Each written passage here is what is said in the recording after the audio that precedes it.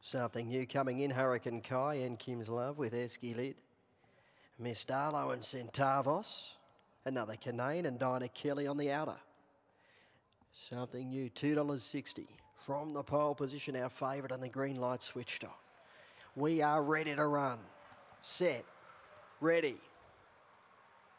Racing, something new, fairly away. Hurricane Kai began quickly. Now something new drives hard. She's gone through to take control over Hurricane Kai. Centavos moving to third, and then Miss Darlow, another Canane. Esky Lid followed by Kim's Love. And Dinah Kelly can see them all down the back. And something new, the pilot. A length and a half, Hurricane Kai. Five Centavos, followed up by Miss Darlow. They swing. Something new in front. Hurricane Kai drives up on the inside. Centavos storming home. Hurricane second guy in front. Centavos drove along the rails and I think might have got there, but this is desperately tight. Photo finish. Centavos or Hurricane Kai, something new behind that pair. Then Miss Darlow followed up by another Canane Esky Lid, Dinah Kelly and Kim's Love. Photo finish. It was in front a stride or two after the line right on the line. Hurricane Kai was stopping. Centavos was driving up and got there.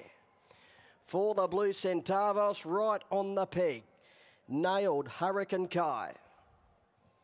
Something new third. And we'll, we'll wait on the fourth number to come through. It is 431. 431. 2 Miss Darlow, fourth in.